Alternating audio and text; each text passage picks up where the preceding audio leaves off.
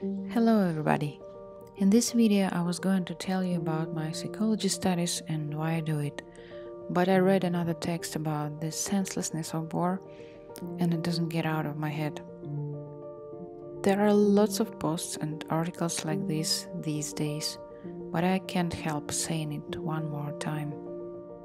While we are admiring nature here, someone is being torn to pieces while we are enjoying the soup. Someone is eating a moldy rusk. When we walk on the grass and feel it tickle our toes, someone stumbles over the rubble of a bombed out house in the center of a European capital.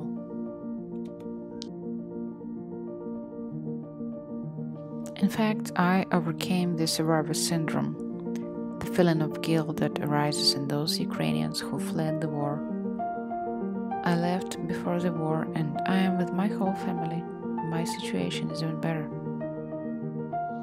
And I felt remorse every time I read about Bucha and Mariupol or even just about separated families in which the men stayed there and the women with children left for other countries.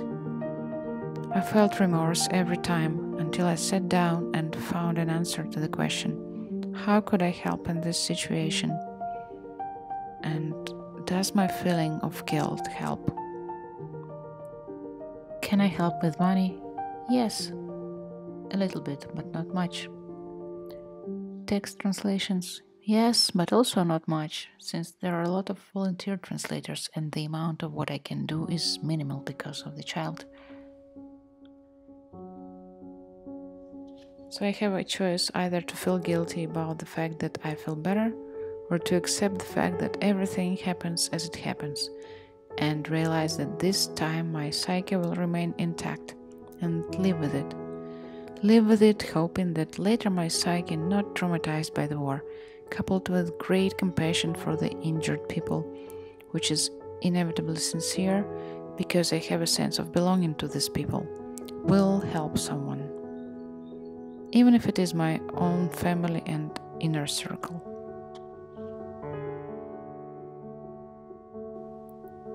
What strikes me the most is the ambivalence of humanity. On the one hand, we plant humane values and, at least in a civilized society, we trumpet the preciousness of human life from every corner.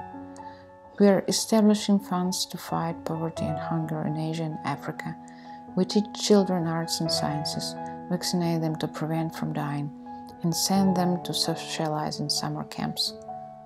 On the other hand, the fathers of these kids design rockets. Do you know how much it costs to produce an Iskander missile that Russia is now dropping on Ukraine? $10 million. And these missiles shell not just military facilities and infrastructure, they shall ordinary residential buildings. Common people lose everything they have. Countries waste billions. Nobody cares. Nobody wins. In the end, maybe somebody wins, but is it a real victory?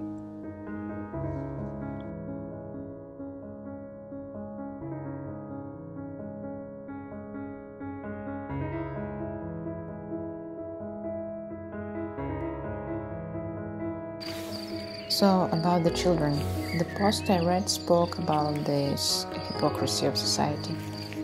Today, you enroll your son to a hobby group where they learn computer sciences or 3D modeling.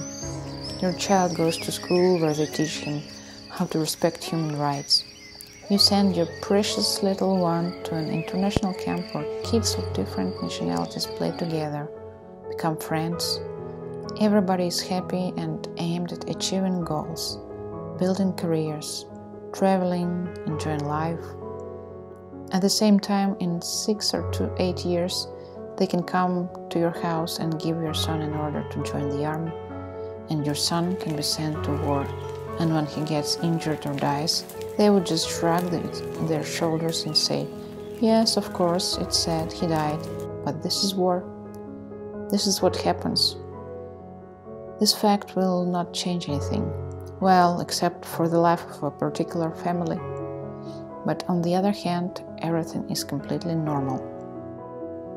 After all, we have always done this and it turned out great. That's what they're gonna say, and you can't even argue.